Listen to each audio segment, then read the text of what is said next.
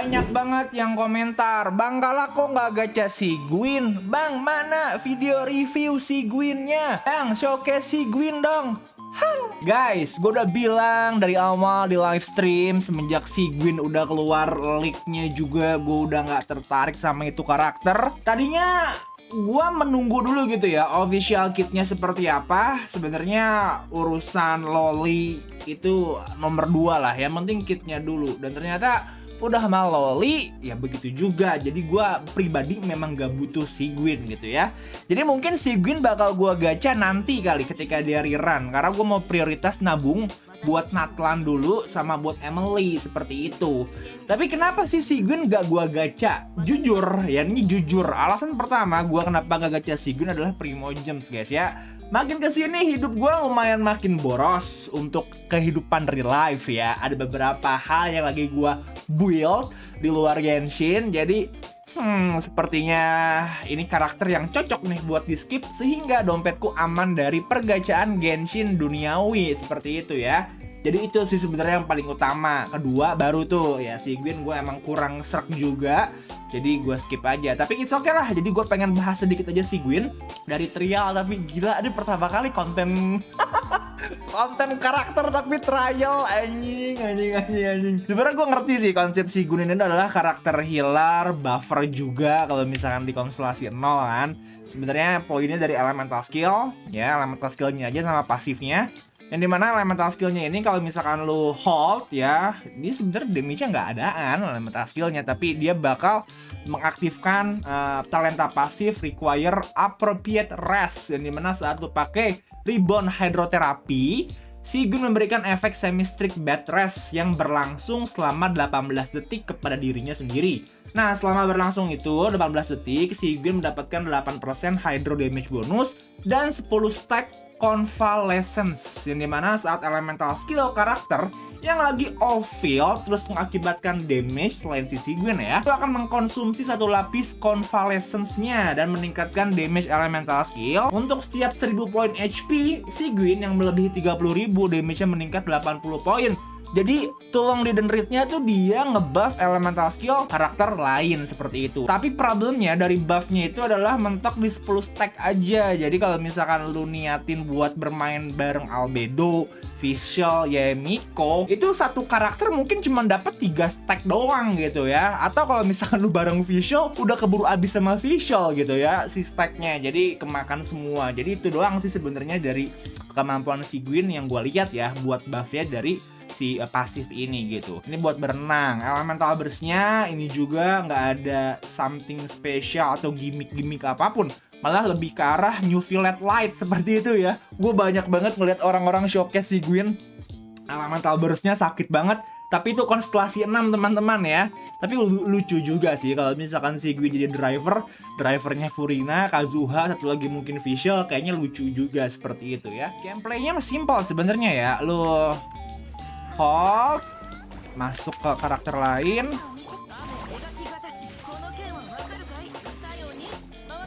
mungkin drivernya jadi si Framinetnya kalau di trial anjing gila kalau hari trial coy nah, kalau udah beres lu bisa pakai elemental burst buat bantai-bantai damage geli-geli anjir ini based on HP ya jadi kalau misalkan lu mau sakitin damage elemental burstnya lu bisa main uh, HP hydrocrit juga. Gedein HP-nya bakal sakit banget. Energi cuma 70 ya lumayan sih. Berarti harus butuh air juga kalau misalkan di channel dan pengen coba-coba jadi apa ya kasarnya DPS gimmick gitu tapi bawa off field karakter ya energinya lumayan tinggi juga seperti itu. Tetapi jangan sedih, ketika kita lagi jalan buntu kita bisa menemukan jalan yang lain untuk bikin konten si Gwyn. Nah, gua akhirnya dapat akun temen gua yang punya si Gwyn. Tapi ini si Gwynnya premium. Gua nggak mau basa-basi ngebahas gimana cara kerja si Gwyn. Intinya pencet elemental skill, udah switch, lu bakal dapat buff segala macam buat karakter field lu bisa nge-heal kemudian elemental burst bisa dor dor dor simple banget sebenarnya. Dan itu kayaknya kurang menarik kalau channel. Makanya di sini gue pinjem karakter temen gue dia tiktoker juga bikin konten di tiktok. Kalau kalian kenal dia cukup terkenal sih. Harusnya udah pada kenal juga ya. Nicknamenya itu silver archon. Nama yang udah cukup wangi seperti itu ya. Gue pinjem akunnya Bang Ramu guys ya. Ya tahu sendirilah kalau misalkan akunnya Bang Ramu seperti apa. Dor ya ini baru nih, gue tertarik kalau main Siguin konstelasi 6 R5 Aqua Simulacra ada.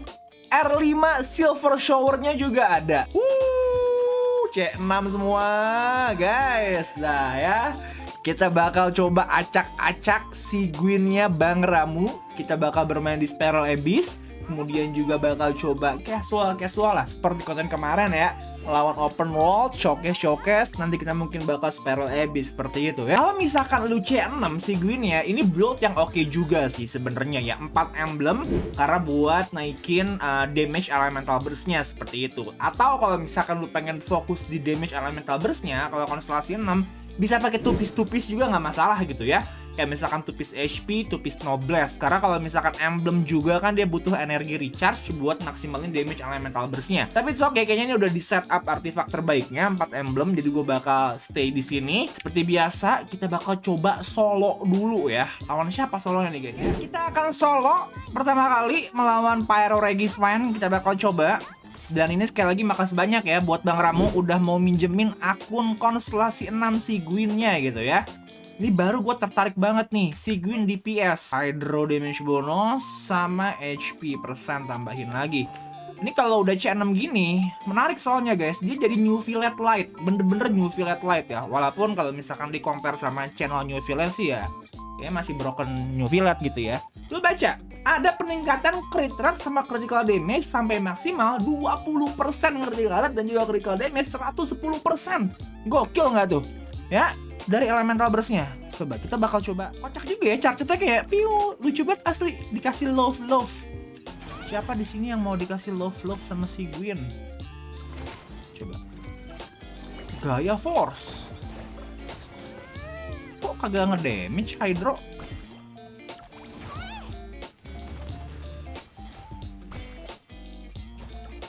Langsung. Dor anjay ribu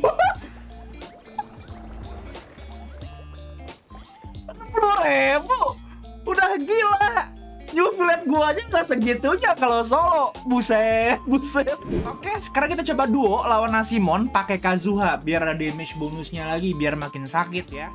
Kita bakal coba. Bam.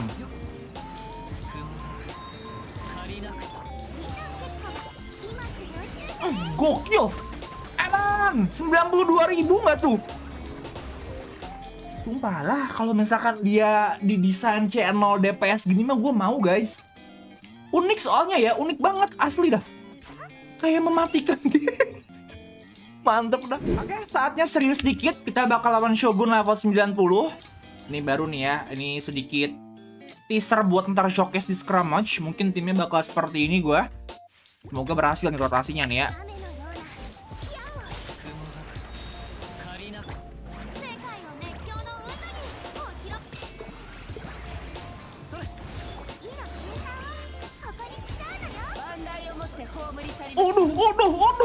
Tapi nggak vaporize ya. Anjir, segitu kagak vaporize, cok. Wah, ini kalau vaporize bisa gope kan ya? Gope 600. Menarik, menarik, menarik, menarik. Ya, melawan lokal legend ya. Kita bakal coba langsung saja. Apakah bakal GG Gaming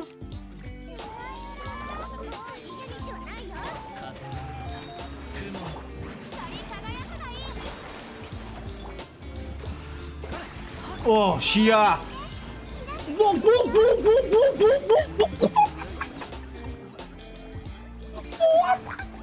What the hell? Gope, cowok. Itu udah gope ya. Ah, juta kah lawan Scramage? Kita bakal coba ya. Gua gak tahu sih, Bang Ramo harusnya udah pernah coba-coba showcase ya uh, pakai Gwyn. Cuman rata-rata yang gue lihat showcase-nya tuh di uh, Spiral Abyss sama lawan-lawan local legend. Gue belum lihat showcase one shotnya nih. So, ini adalah akunnya Bang Ramu, akun TikToknya. Gue bakal coba kepoin sedikit dari postingan-postingannya. Ini pertama kali dapet Gwyn. Oh, ini konten lawan Shogun. Ini konten Sigwin Farming lawan Doritos. Ini yang tadi gue lakuin juga nih ya. Kocak sih. Rata-rata spiral abis. Tapi gue penasaran sama damage one shotnya kalau kita gedein crit damage ya dan kita kasih buff lawan Scramo seperti itu ya. Dan jangan lupa pakai buff gitu ya. Kita bakal langsung saja guys. Ini gue nggak tahu bener apa enggak nih rotasinya ya.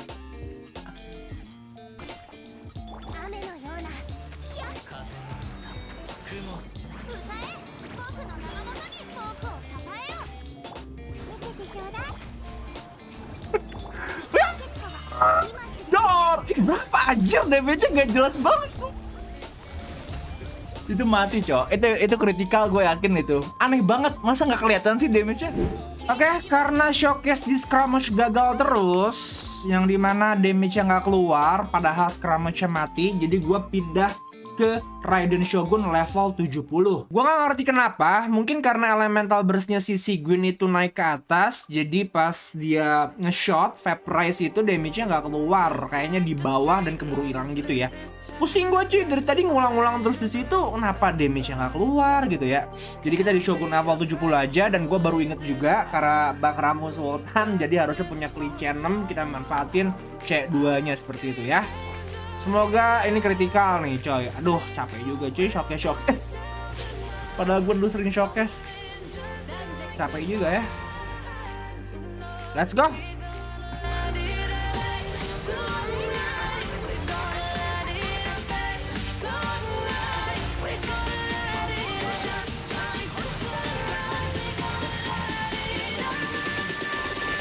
Yuk, kritikal. Us. Berapa tuh, Bro? 840 ribu ya? 840 ribu. Buset. GG nggak tuh, coy? Aduh, tapi ini kayaknya artefak kan masih bisa dibenerin lagi. Kayaknya kalau misalkan pakai Hydro yang crit damage lebih tinggi juga, mungkin bisa lebih tinggi lagi ya. Satu juta possible sih. Juta possible, cuman gue males testing-testingnya coy. mungkin kalau misalkan pakai Silver Shower bakal lebih sakit kayaknya ya. Ningkatin HP, tapi over HP juga sih. Sisanya critical rate doang buat elemental burst. Harusnya aku Walker masih lebih overpower dibanding pakai signaturnya. Tapi kita bisa mendapatkan damage 840.000 bersama Sigwin C6.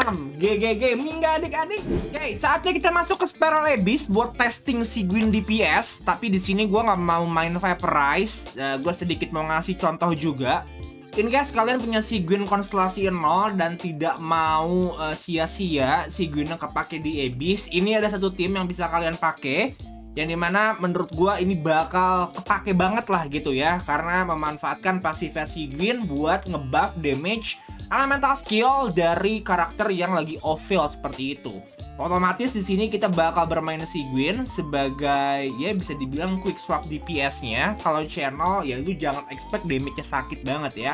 Kazuha atau Sucrose ya wajib ada anemonya biar makin sakit.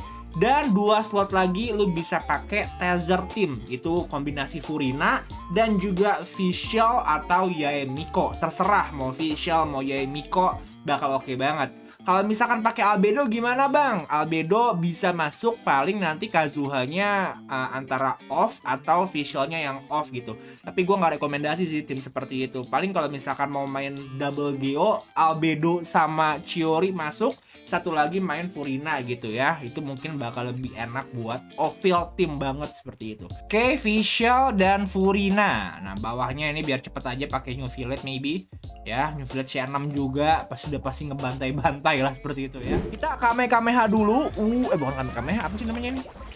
Gaya Force. Lo tau Gaya Force gak sih? Si apa namanya? Tapi ini mah udah mati duluan anjay. Aduh terlalu sakit kocak si ini ya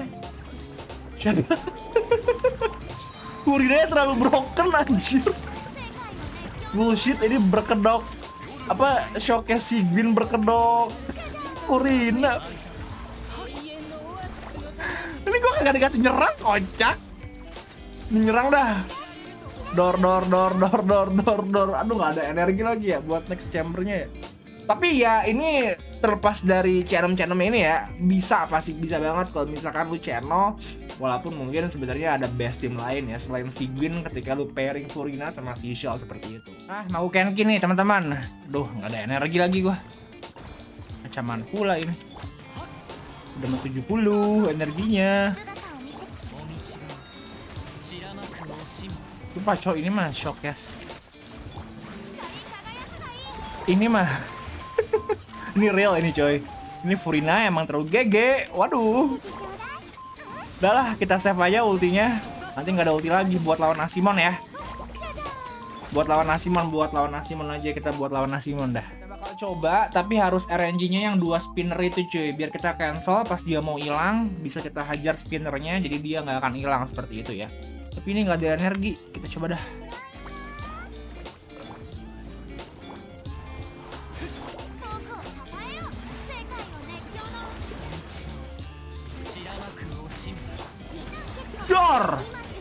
Modar, modar, modar, modar. Mati nggak? The power of money. So teman-teman, sekian dulu dari gua. Ini adalah pengalaman yang sangat unik sekali. Gue bermain si Gwyn C6. Harusnya kalau megang akun Sultan gini, gue mainnya New Village, megangnya Ito, Navia, siapa lagi Xiao, Sing Sing Sing Sing. Yula, ini gue mainnya si Gwyn guys. Si Gwyn konstelasi 6 Berkedok kalah hari nggak punya si Gwyn Seperti itu ya. Tapi kalau misalkan ntar pas di live stream tiba-tiba berubah pikiran Ya kita cobalah. 10 plus 10 pul di akun gue Siapa tahu dapet si Gwyn Lagi red off anyway. Tapi semoga sih gue bisa konsisten menabung buat Emily Dan juga buat nanti di Natlan teman-teman ya. Intinya si Gwyn karakter yang unik aja sih Ya. Kalau channel bukannya jelek ya Tapi lebih ke arah nggak butuh aja sebenarnya. Tapi kalau misalkan memang jiwa kalian jiwa ingin menyayangi anak kecil ya silahkan gacha karakter si Gwyn ini. So teman-teman sekian dulu dari gua, gua kalah hari. Jangan lupa di subscribe, like, dan share. Sign out, see you on the next video.